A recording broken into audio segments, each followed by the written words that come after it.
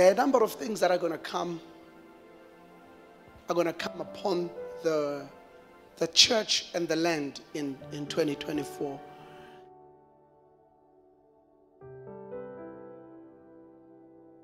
There, there are two provinces that you must mark in 2024 Durban and the Eastern Cape. I've been, I've been seeing these, these two provinces in the spirit. Number one, this is what the Lord has to say about Durban. The Lord has been saying to me that Durban is like a spiritual door in this nation. And that in uh, between 1997 and the year 2000, the spiritual door opened through the province of KZN right? KZN, the province, but, but particularly uh, uh, the, the, the, the, the, city of Durban. And between 97 uh, and, uh, and year 2000, that door was opened and so much was poured into this country that came through, that came through KZN and uh, into the into the into the inlands and and the lord is saying the seed that was planted then or what came through that door the harvest for that seed has now come and and you're going to see um, you're going to see even a greater rise of the apostolic uh, and the prophetic. And um, it's been in its seed form all these years. And the Lord is about to bring it into a place of harvest. But I saw in the spirit more specifically a lot of prophets that will arise out of Durban. And I saw even much more that there are still heavy rains that are going to come in Durban. And there's still going to be floods that are going to come, that are going to come in, uh, in, in, in Durban. And, and, you know, and we don't want people's lives, people to lose their, their possessions and their lives in the process. And I don't think that's the, that's the aim, that's the, that's the aim of the Lord. But, but I heard the Lord saying that the prophetic is going to come like a flood out of the province of KZN.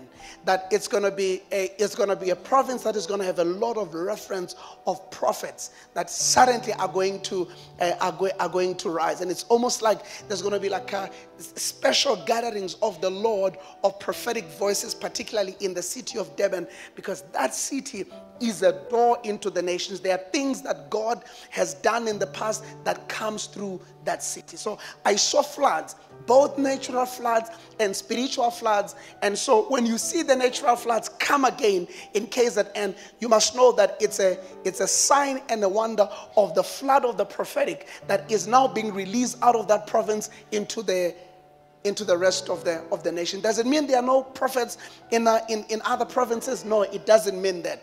But but the, that land is a signpost for the, for the for the spirit of God. Secondly, I saw the Eastern Cape. I saw the Cape. Let me use I, I let me use the Cape, And I, I saw specifically the Eastern Cape, and I saw fires in the Cape. So what you will see in the in the next coming days and in the next coming months is wildfires being reported in the Cape. And when I, when I asked the Lord about these wildfires, I, he then showed me a vision of the church as a dry field. The church as a dry field. And he said to me that the, the, the dryness that the church has experienced over the years. Now in 2024, he's about to set it on fires of revival. And when you see the fires that will be reported in the Cape, you will know that then the, our, our nation, as it were, will catch fires of revival and there, and will be many there will be many reports and, and and this has been very seldom in our nation but mark my words in 2024 there will be many reports of services that start to not end and because there will be such such a glory and a presence of God that people will want to camp uh, to camp around around the presence of God. And I saw what looked like movement. I saw in our land God restoring and raising again movements. You know, the, the, a couple of years ago, about you know 20, 25 years ago, one of the most significant things that, that had happened in our land was that there were there were pockets of movements that God raised around around South Africa.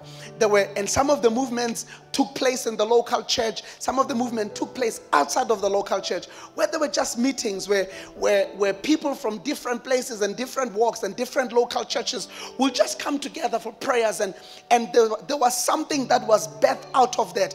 I saw the return plan of the spirit of movements into the land in, in, in, in 2024. Because there are things that God must do that don't necessarily I love the local church. I lead a local church. We we we we I I'm a shepherd at heart and I want everybody to, to belong to a local church. But I also know that you can never lock down the Holy Spirit to a local church. There are, there are movements that go beyond the walls of a local church. And as these fires start to spread, they will spread and they will break out in unlikely places. And some of the fires will be caught by the, by, by, by, by the churches. And some of the, some of the fires will just, will just be wildfire. You know, I'd rather have wildfires wildfires than no fires at all.